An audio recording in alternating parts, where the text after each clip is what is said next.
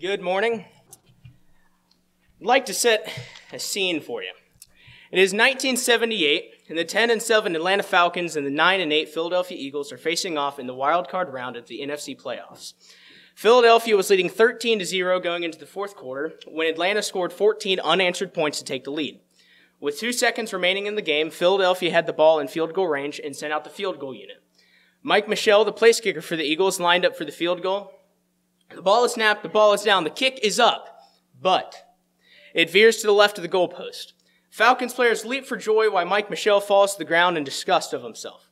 A linebacker for the Falcons by the name of Greg Brezina kneeled quietly beside Michel and said, Mike, what I am about to say to you may not make any sense, but it doesn't really make any difference whether you made the kick or missed it.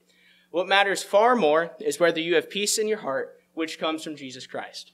So the important thing we see here is Jesus Christ. If your life is spaced out or strung out, you feel like it's at the end, he can take these broken fragments of your life and piece it all back together. For he is the way, he is the truth, and he is the life. John 14, 1 through 6. Let not your heart be troubled. You believe in God, believe also in me. In my Father's house are many mansions. If it were not so, I would have told you. I go to prepare a place for you, and if I go to prepare a place for you, I will come again and receive you to myself, that where I am, there you may be also. And where I go, you know, and the way you know. Thomas said to him, Lord, we do not know where you're going, and how can we know the way? Jesus said to him, I am the way, the truth, and the life. No one comes to the Father except through me. On the evening of Jesus' crucifixion, he sat down with his disciples to have a Passover meal with them, and during this evening is when Judas arises to betray him. Jesus told his disciples that he uh, would be betrayed and then put to death, and he comforts his disciples by giving them the knowledge they will need to make it through this time. He speaks concerning the place where he is going in verse 2, and he tells them that this place is prepared for them as well in verse 3. Thomas then asks, how do we get there? What is the way? And Jesus' answer is one of the most beloved and quoted scriptures to the faithful. I am the way, the truth, and the life. It's one of the many I am statements from the book of John, like I am uh, the bread of life, I am the true vine. And there's several others, but these I am statements indicate us uh, more of who Jesus was and who he is. So the first part of that verse, verse 6, I am the way. Jesus is the way, and there are only two ways. If you would please turn to Deuteronomy chapter 30 with me. I'll have most of the scriptures up here, but this is rather lengthy. So Deuteronomy chapter 30, and I'll be reading 15 through 20.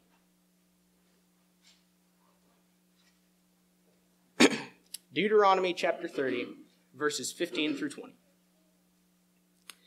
See, I have set before you today life and good, death and evil. And that I command you today to love the Lord your God, eh, to walk in his ways, and to keep his commandments, his statutes, and his judgments, that you may live and multiply. And the Lord your God will bless you in the land which you go to possess. But if your heart turns away so that you do not hear and are drawn away and worship other gods and serve them, I announce to you today that you shall surely perish. You shall not prolong your days in the land which you crossed over the Jordan to go in and possess. I call heaven and earth as witnesses today against you that I have set before you life and death, blessing and cursing. Therefore choose life, that both you and your descendants may live, that you may love the Lord your God, that you may obey his voice, and that you may cling to him. For he is your life and the length of your days, and that you may dwell in the land which the Lord swore to your fathers, to Abraham, Isaac, and Jacob, to give them. And in Matthew chapter 6, we're given example of two masters. In verse 24, no one can serve two masters, for either he will hate one and love the other, or else he'll be loyal to one and despise the other. You cannot serve God and mammon.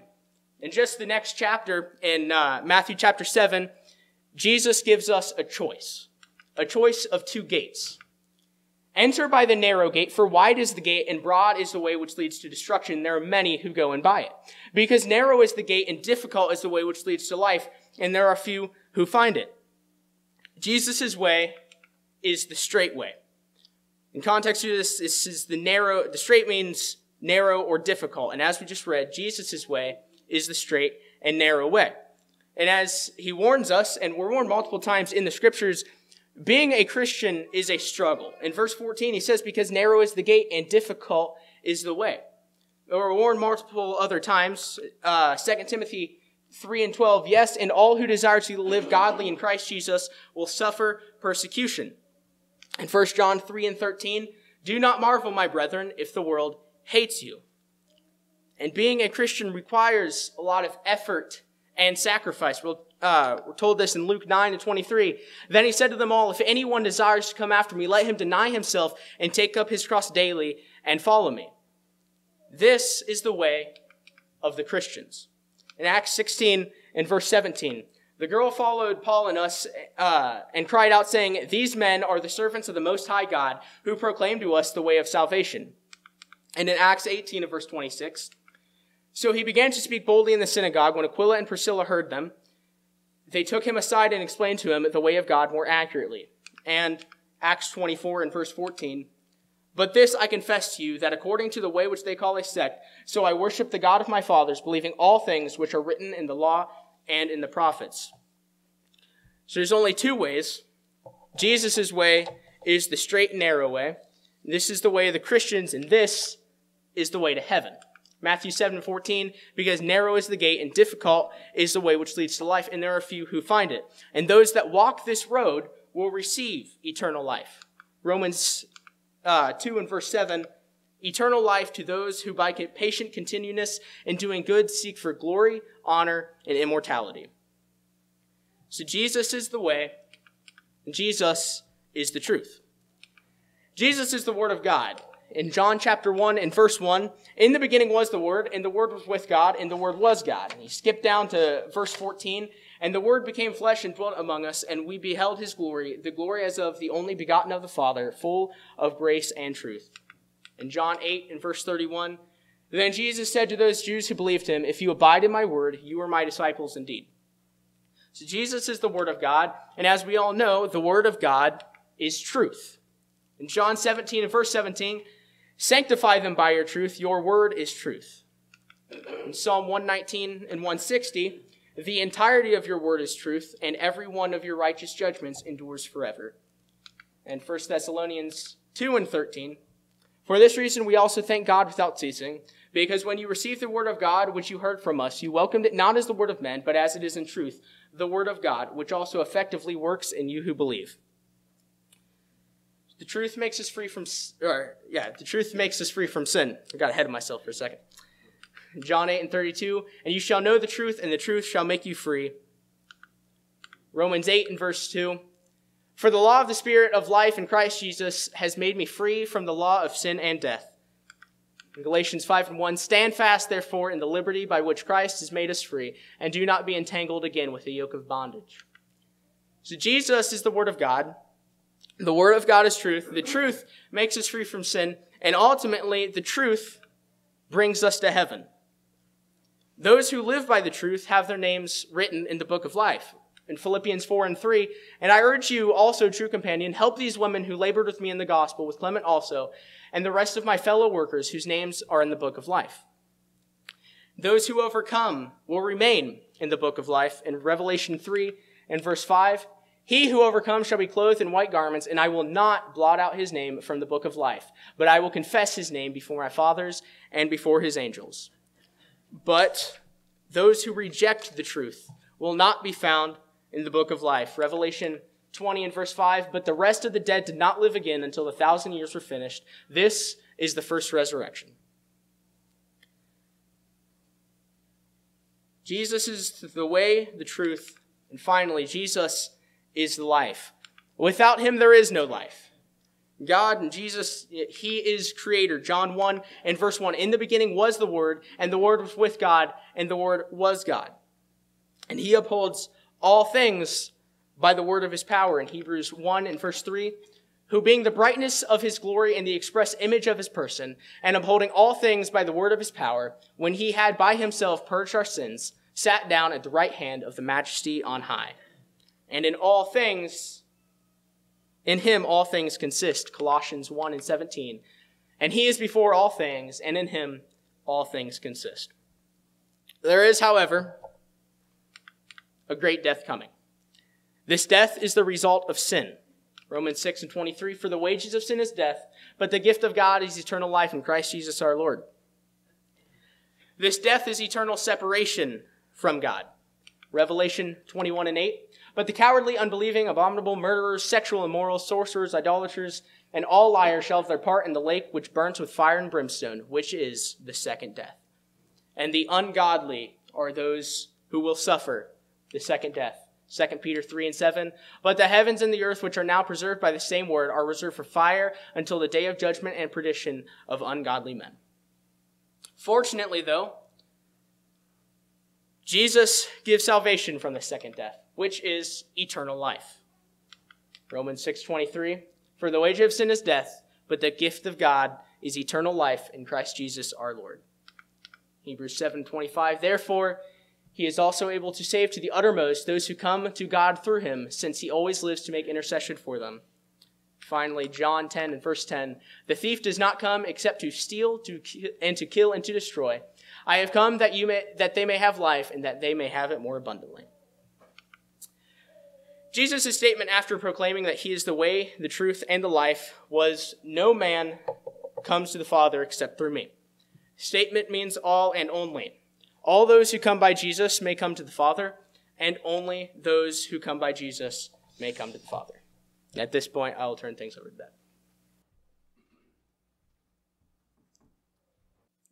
Ben. I can't follow that. Very well done, son. I'm not just saying it because my son. I thought it was actually a very well presentation. Um, I told him, I said, no, don't drag it out too long because we only have so much time and I got to get up and talk. And like everybody's like, oh, yeah, we hear you all the time. So, um, actually, uh, you could have taken a little bit longer. very good. You know, I was thinking uh, I I prepared notes for this because we kind of coordinated ahead of time. But as I, I do call audibles a good bit, it depends on what I feel is uh, the right message to to bring. And uh, I would like to actually uh, turn your attention before I say anything in my notes. I'd like to turn your attention back to Exodus chapter 14.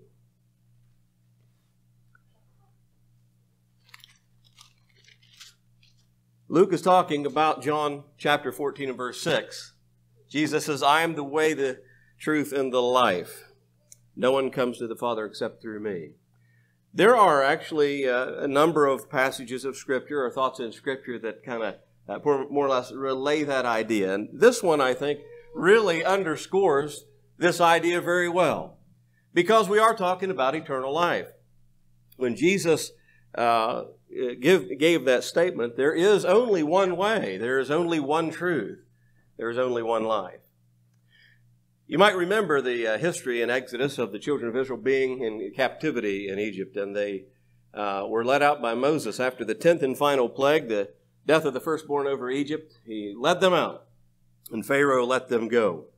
Pharaoh, being the ruler of Egypt, being such an evil and hard man, whose heart continually was hardened, even whenever God humbled him, and he, he even mentioned a couple times, Pharaoh actually said, I have sinned a couple times, but he, he just couldn't quite turn that corner, and his heart would go back to the way it was immediately, and he was hardened, and he, he uh, despised the children of Israel, and he chased after them. In chapter 14, it says this.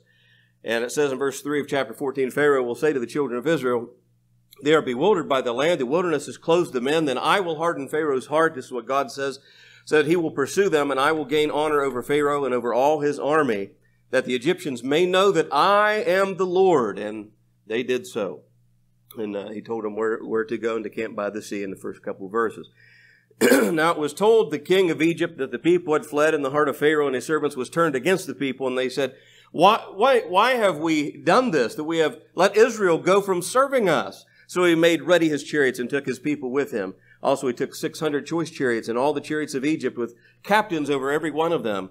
And the Lord hardened the heart of Pharaoh, king of Egypt, and he pursued the children of Israel. And the children of Israel went out with boldness so the Egyptians pursued them, all the horses and uh, chariots of Pharaoh, his horsemen, his army, and overtook them, camping by the sea beside uh, Pi Hahiroth before Baal Zephon. And I'm sure that's exactly how those are pronounced too. You can Google that and see if I'm right.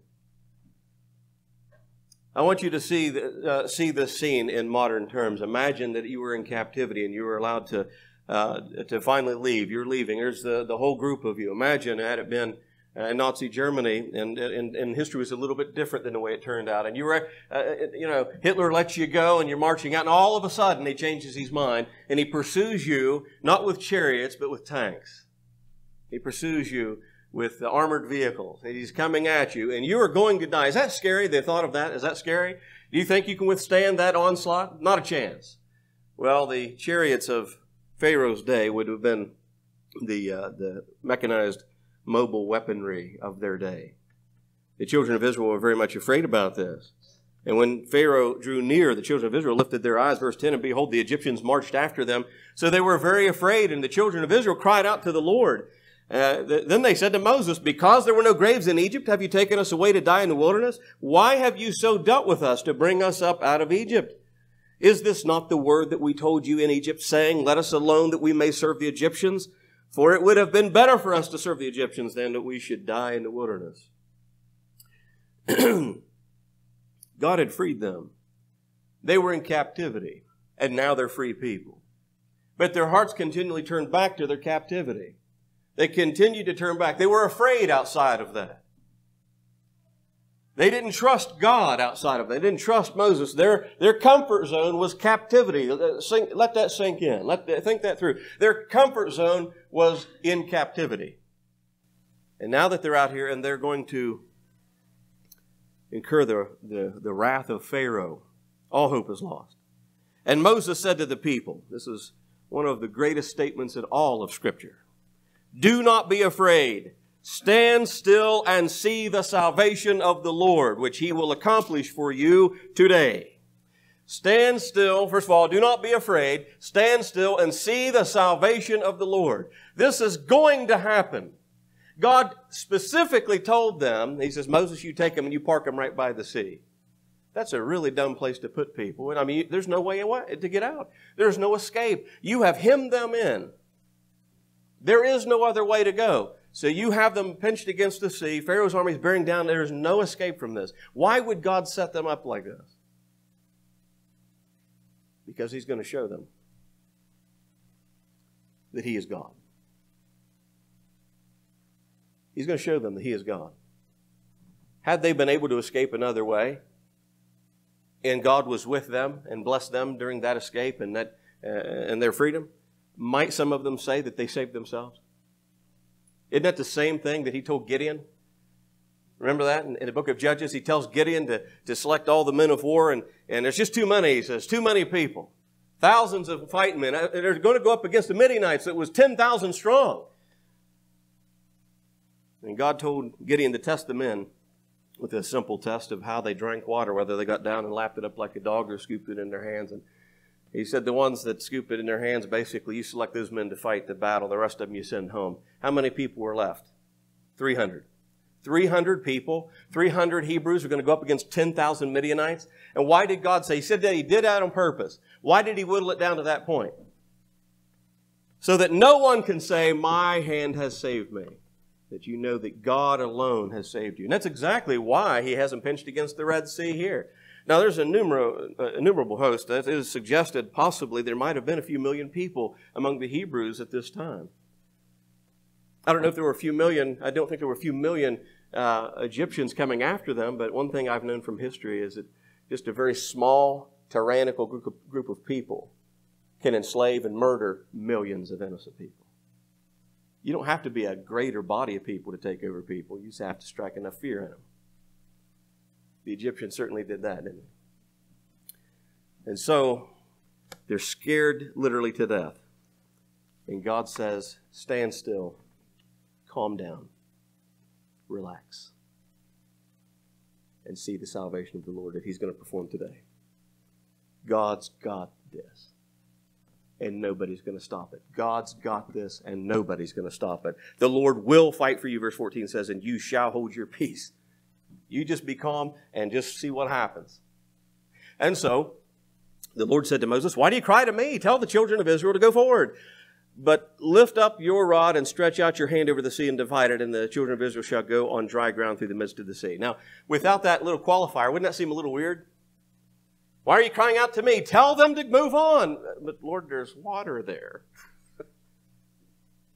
Anybody here uh, have trouble swimming? Because it looks like we're going to be treading water for a little bit. No, that's not what he had in mind. He's telling them the water's not going to stop you. I will make a way of escape. I will provide a way. Mike, what is your invitation song title? Well, say it. the Lord will make a way, right? The Lord will make a way. How appropriate that is, Mike. The Lord will make a way. And that's exactly what He's done here. And so it says, that in, uh, and he says, I indeed will harden the hearts of the Egyptians, and they will follow after them, and I will gain my honor over Pharaoh and over all his, his army, his chariots, and his horsemen. Then the Egyptians shall know that I am the Lord, when I have gained honor for myself over Pharaoh, his chariots, and his horsemen. And the angel of God who went before the camp of Israel moved and went behind them. The pillar of cloud went from before them and stood behind them. So it be, came between the camp of the Egyptians and the camp of Israel. Thus it was a cloud and darkness to the one, and it uh, gave light by night to the other, so that the one did not come near the other all that night. Now, before the water would be divided, and before there would be a way God would provide, He protected them from harm.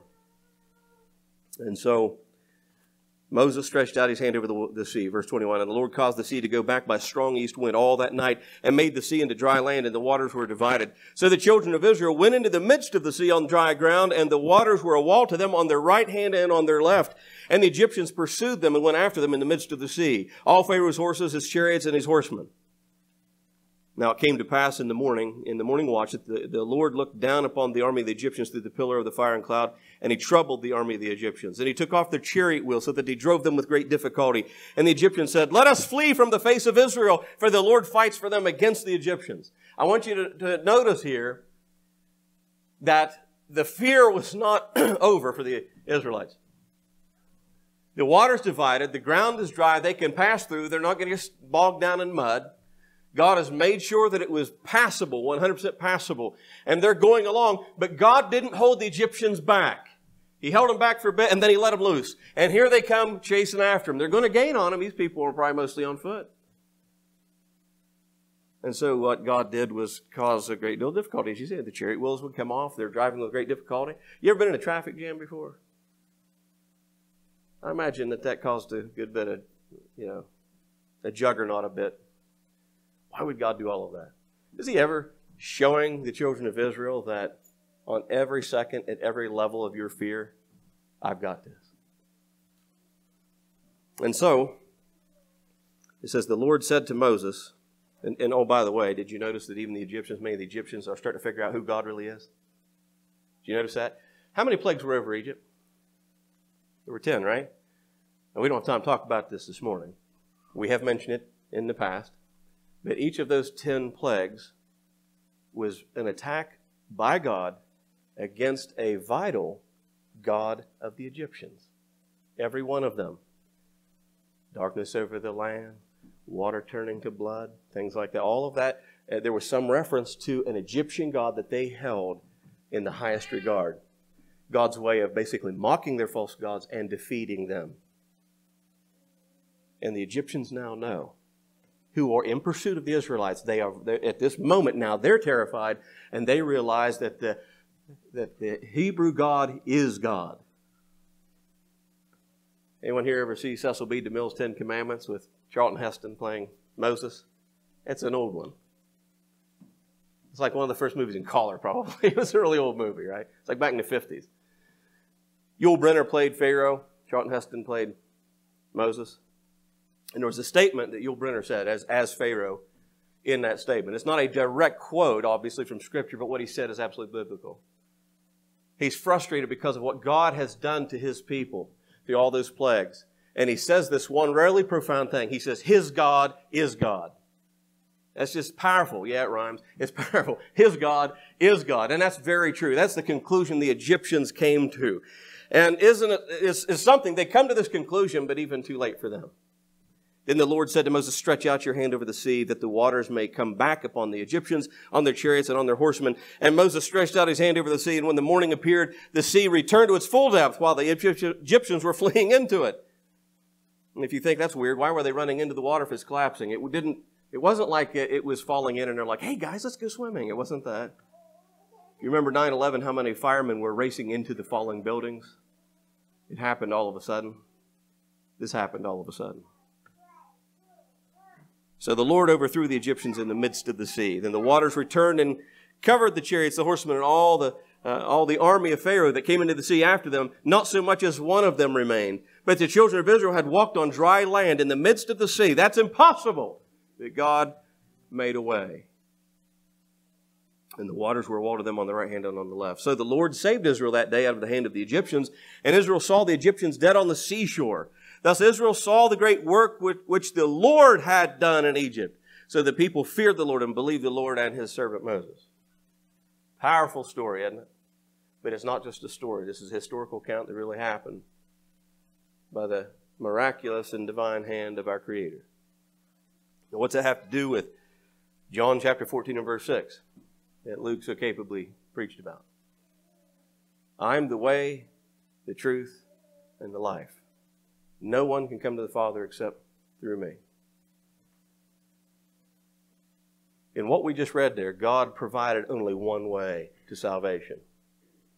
Jesus now is only one way. It's the only way. There is no other way to get to heaven. You cannot, to get to the Father is to get to heaven. That's the idea. Father, Son, and Holy Spirit, the Godhead, uh, one Godhead, three persons in that. To get to the Father, you have to go through the Son, and to go through the Son, you have to you have to do something. He provides a way, and you have to take that way. There is no other way. God provided a way for the Israelites, and there was no other. If anyone tried to go a different way, they would have perished, they would have died.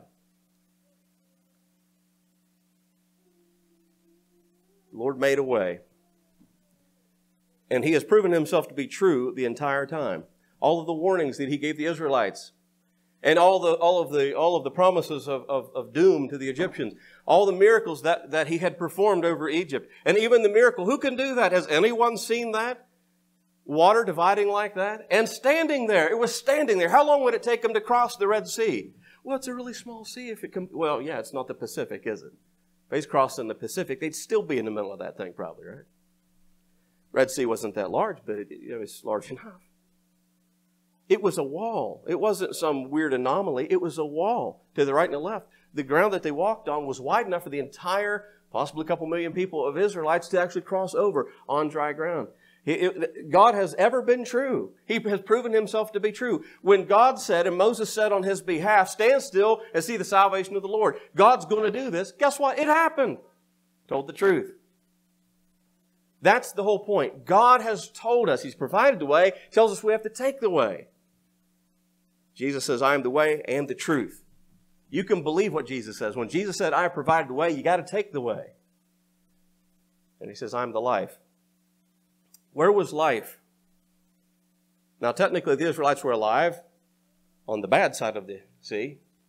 They were alive in the midst of the sea, and they were alive on the other side of the sea. But when was their salvation from death apparent? It wasn't on the other side of the sea because the Egyptians were there ready to take them down. It wasn't in the midst of the ocean because had God so said and caused the waters to fall upon them, they also would have perished. It was when they came out on the other side.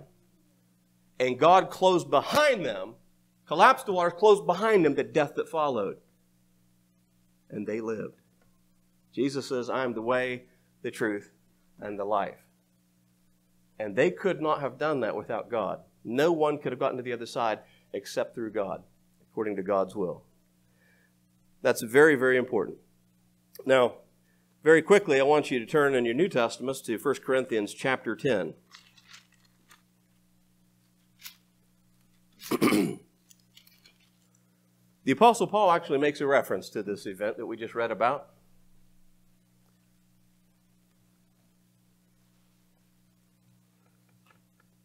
In 1 Corinthians chapter 10, he says, Moreover, brethren, I do not want you to be unaware that all our fathers were under the cloud, all passed through the sea, all were baptized into Moses into the cloud and in the sea. And he goes on to say some things that pertain to some other, other events that happened during their sojourn as Israelites newly freed from captivity. And not that we have time to look into the rest of this for now, but you'll see that they, they kept sinning over and over again. The Israelites did. And it was a warning here by Paul. It says it not once but twice that they were examples for anyone afterward uh, that, they, that we would not follow their, their pattern, if you will. But he mentions this here all of our fathers were under the cloud, all passed through the sea. Where was the cloud? Where was the cloud in Exodus chapter 14? We notice that it was between the Israelites and the Egyptians. And that's what separated the two groups. And then when the Israelites began to flee through the midst of the Red Sea, somehow, you remember, they pursued them. The cloud was removed. That protective barrier was removed. Where'd the cloud go? Way back up in the sky? Where did it go? According to Paul, this is why harmonizing Scripture is so important. According to Paul, the cloud evidently covered them as they were running through the midst of the Red Sea. Now, if you want to get really technical, what is a cloud basically made up of? Water, isn't it? And the more water it's in it, the darker it gets. And the darker it gets, the more propensity there is for you to get wet because it's coming down, right? They were completely sandwiched in water. They were covered by the cloud, they were in the sea. And Paul calls it a baptism. That is a baptism. Now, there's more we could say on that subject, but the fact of the matter is, Jesus has provided a way. I will make a way for you. I am the way, the truth, and the life. No one comes to the Father except through me. We need to know how to get into Christ, and we need to know how to stay in Christ. We need to know where, that salvation is only in Christ. Uh, at another time, we can discuss the uh, global flood of Noah's day. Uh, we've talked about it here many times, but I will share this passage in 1 Peter chapter 3, in verses 20 and 21. 1 Peter chapter 3, verses 20 and 21. Peter, reflecting upon the global flood of Noah's day, he says, When once the long suffering of God, verse 20 uh, of 1 Peter 3, when once the long suffering of God waited in the days of Noah while the ark was being prepared, in which a few, that is, eight souls, were saved through water. Now, let me stop there. Didn't Paul just acknowledge in 1 Corinthians 10 that the children of Israel were saved through water? It was a baptism. And right here, eight souls in the ark, were saved through water. Water coming down from above, it rained. The great wells of the deep were broken up, so water came up. They were sandwiched in water, they were immersed in water. And he says, There's also an antitype which now saves us, namely baptism. Not the removal of the filth of the flesh, but the answer of a good conscience toward God through the resurrection of Jesus Christ. God has provided a way by truth that cannot be denied in which we can be saved from certain death and we will have life. And that is only in Jesus Christ our Lord. So we're going to end it now, our, our two lessons, part one and part two, with this invitation. We hope that uh, as, as you were here this morning, if there's anyone here who has a desire to commit their life to Christ, and you have a desire to walk with Him the rest of your days, realize that no matter who you are or where you are or what the circumstance of your life is, God has provided a way. We all have a red sea of doubt. Everybody has a red sea of doubt. But if we will trust God and stand still and see the salvation of the Lord in our lives, He will make a way for us. And if we will take that way, we believe the truth that He is going to save us, we will have eternal life, which is what Jesus promised. And we will have, uh, have that, and no one can take that away. No one can take that away but you can lose it. You can give up on it. No one can hold a gun to your head and say, Give up Jesus. If you're bound and determined that you're going to be willing to die for the Lord, no one can take away your salvation except you. If you abandon Him, if you turn back, if you jump out of the lifeboat of, of His safety back into the, the sea of sin and death, then you can lose your soul, yes, but nobody can take it from you.